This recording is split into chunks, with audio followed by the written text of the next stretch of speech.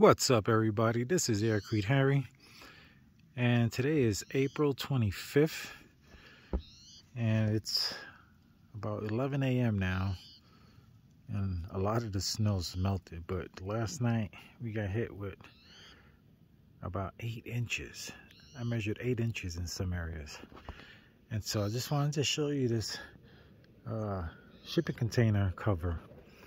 The uh, I never had um, a good shot of the amount of snow. And so today's pretty good. This is where we have our solar panels flat up. I just swept the snow off of them. And here's, you can see how heavy the snow is. This is not the first time it snowed this much. But uh, this is the first time I actually video recorded it. So if you look at this, got my tape measure. You see there, it's eight inches.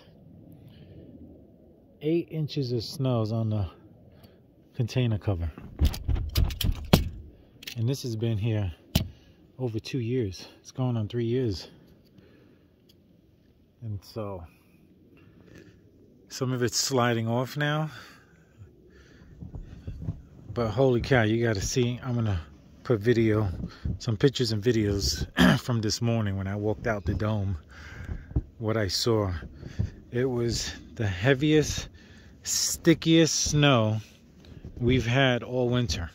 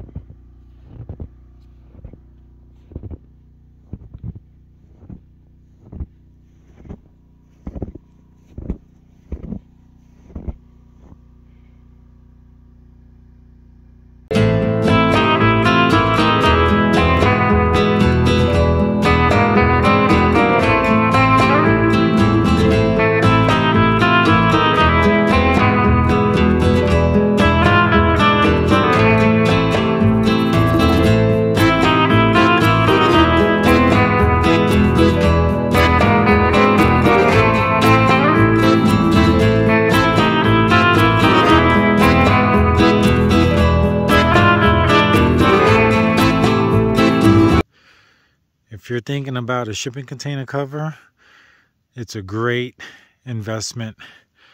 Uh, just send me an email to aircreteharry at gmail.com and uh, with your uh, contact information and zip code.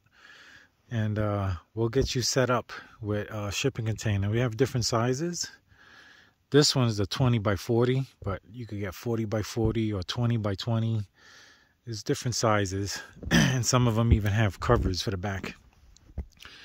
But um, yeah, this was a great example. So like here's where the snow just slid down. But just out of curiosity, where the snow slid down. Whoa.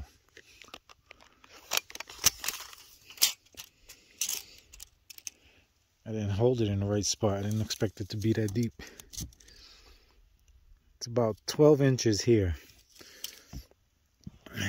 And you know, I'm showing you this because this is supporting all that weight of all this snow.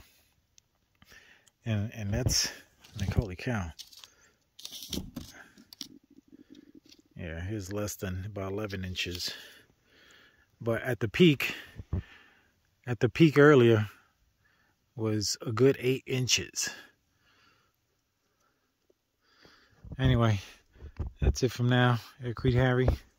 Contact me at aircreteharry.gmail.com for shipping container covers. And I'll catch you later.